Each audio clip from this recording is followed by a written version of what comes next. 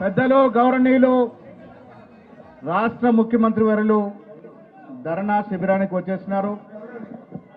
మీ అందరికీ తెలుసు ఏఐసిసి పిలుపు మేరకు ఇవాళ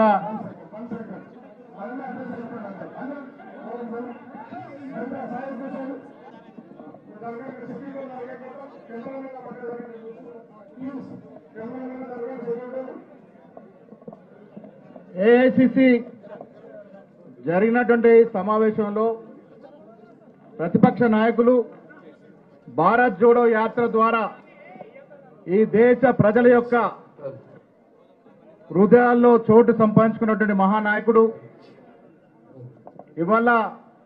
మూడవసారి నాలుగు వందల సీట్లు పై వస్తాయని ప్రగల్భాలు పిలిచినటువంటి బీజేపీకి ఒక గుణపాఠం చెబుతూ పెద్ద సంఖ్యలో సీట్లు సంపాదించి అధికారం కొద్ది దూరంలో ఉండిపోయినప్పటికీ కూడా ఉండకుండా ఈ దేశ ప్రజల కోసం మేము ఎక్కడ కూర్చోవడానికన్నా సిద్ధమని రాహుల్ గాంధీ గారు ప్రతిపక్ష హోదాలో కూర్చున్నారు. పెద్దలు గౌరవనీయులు రాష్ట్ర ముఖ్యమంత్రి వర్యులు ధర్నా శిబిరానికి వచ్చేసినారు. మీ అందరికీ తెలుసు ఏఐసిసి పిలుపు మేరకు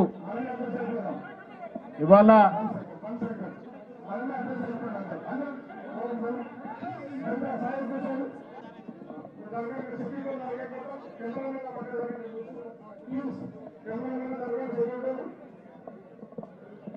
ఏఐసిసి జరిగినటువంటి సమావేశంలో ప్రతిపక్ష నాయకులు భారత్ జోడో యాత్ర ద్వారా ఈ దేశ ప్రజల యొక్క హృదయాల్లో చోటు సంపాదించుకున్నటువంటి మహానాయకుడు. ఇవాళ మూడవసారి నాలుగు వందల సీట్లు పై వస్తాయని ప్రగల్భాలు పిలాడినటువంటి బీజేపీకి ఒక గుణపాఠం చెబుతూ పెద్ద సంఖ్యలో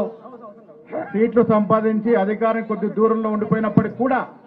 కుంగకుండా ఈ దేశ ప్రజల కోసం